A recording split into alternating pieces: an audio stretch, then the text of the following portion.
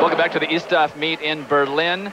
Dwight Stones with Larry Rawson, and one of the premier events of this meet, the men's 200 meters. Frankie Fredericks of Namibia is one of the athletes that's eligible for the Golden Four. But this man, the world record holder and double Olympic champion Michael Johnson, set to spoil his evening. Larry sat down and spoke with him yesterday about his incredible 1996 season. What did you think when you were on the medal stand? What went through your mind emotionally? Uh, well, for the 400, I mean, it was just, I was just happy to finally win an individual Olympic gold medal and, and get rid of the fear of finishing my career without knowing what it felt like to win an individual Olympic gold medal. Uh, the 200 was just, you know, having made history and um, really the 200 after that, you know, being on the award stand was kind of, it's kind of different because I had done what I expected to do and I was really happy about that, but the whole world record, that kind of just threw everything off because I was still kind of just, it was kind of hard to believe. I mean, it's kind of hard to, to really, it hadn't really sink in at what 1932 was all about, you know, what it really meant. Frank Fredericks, he's won three of the Golden Four, Larry, but my bet is he doesn't win tonight. Well, you know, you and I were joking before that uh, based on the number of athletes left, six divided by 250,000, you get 40, maybe 50, 60,000 dollars. Right now, one guy should look at the other, and Michael should say to him, I'll split it with you. Ato Boldon in lane five. He was the double bronze medalist at the Olympic Games in Atlanta. He's getting applause just as they're getting into the blocks. That's pretty cool. I like that. Excuse me, everybody. They're applauding me. Let me wave, and we'll come back to our blocks. That was a that's a good move by Ato. Classy guy, very intelligent, wonderful future, age 22. World American records, of course, Michael Johnson set at the Olympic Games, 19.32. We've been talking about how we may not see that record approached for a decade. Dwight, doing some math, this is approximate his last 100 yards. Picture a football field, everybody. He's already burned 100 meters plus. His last 100 yards in about 8.35 seconds. Think about that. Somewhere in the neighborhood of 27 miles per hour he was traveling down the track in Atlanta on the way to his second gold medal, a 400-200 double that has never been accomplished by a man in the Olympic Games, and now he's done it. Really, the only thing left to do is for him to break the men's 400-meter world record. Ein ganz wichtiger Sprint. Geir Moen from Norway. Why should some guys look at that good, Dwight? Well, they put him out in lane eight, so we don't have to look at him for too long. He's a good runner, though. European champion at 200.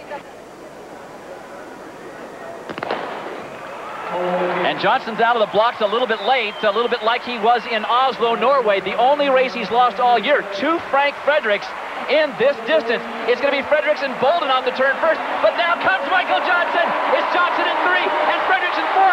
It looks like it's going to be an upset.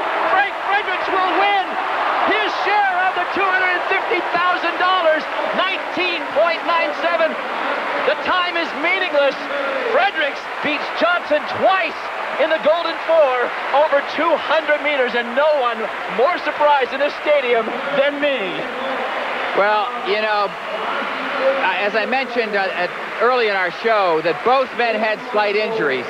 And I talked with him last week in Brussels, and he said, my leg is a little bit sore. And yet, Michael Johnson is a man of total confidence. He said earlier, nothing stops me, and he believes it. Yet both of these men had uh, slight injuries. What impressed me most about this race, the man with the best strength is Michael Johnson over the last 100 meters. 400 meter strength, we've talked about it all summer long. Yet this man came off, what, inches in front of him with 100 to go and held him off. That is amazing to me to hold off Michael Johnson over the last 100. All right, now take a look. On the inside in red in lane two, that is Drummond that got out much better than Johnson. Johnson did not run a good 100 meters for him. And at that point on his outside, Frank Fredericks with kind of the gold top. Ato Boldon are in front of Johnson.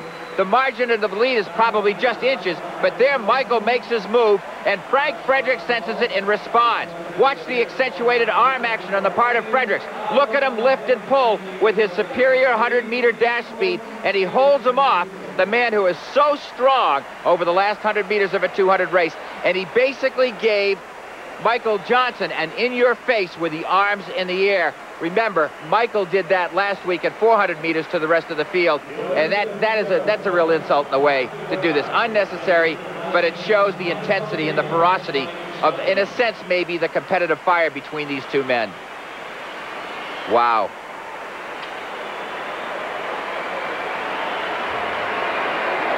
I remember Michael Johnson did have an injury in that 200 meters at the Olympics. It took about two weeks off his training, but no excuses here. Johnson came here. He was defeated by Frank Fredericks, and Fredericks will get his share of the 20 kilograms of gold. An absolutely fantastic race. Many of the people in this audience stunned by the results, including yours truly. And Larry Rawson has caught up with our winner, Frank Fredericks, downstairs. Uh, take us through the race. You get out well? Yeah, I got a good start, and I was waiting for Michael to make his move at the 10. He didn't, so I know that coming off the 10 that I was in good shape.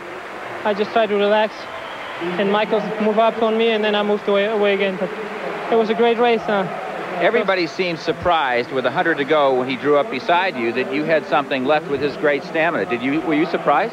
Yeah, I mean, I know that I have a great finish, and I think it's Michael. He's not the type of runner that, that can run with somebody next to him. Official results of the men's 200s. Frank Fredericks of Namibia, 19.97. Michael Johnson losing only his second race of the year, 20.02. And Ato Boldon, a well-beaten third. And Larry Rawson now has the man downstairs. Tough part of the race seemed to be the start and getting out. Well, I think that I've lost some sharpness from having taken off a week and a half, but I felt like I got out pretty good. I didn't have a bad start. So basically, the whole race went pretty well for me. It's just when you lose some sharpness, you know, you can't have that same type of click every time.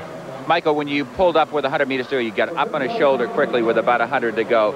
At that point, did you feel you might be able to hold him off in the sense that you were even, certainly? Well, I knew at that point that it was 50-50 because normally at that point, if I'm in that position and I feel good, I can carry the endurance all the way through because of being a 400-meter runner. But having not trained for a week and a half and not raced since the games, you know, I knew that maybe I, I, would, I might not be able to. The leg held up okay for you? Yeah, the leg feels fine, so there's no problems with that. But, you know, you win some, you lose some.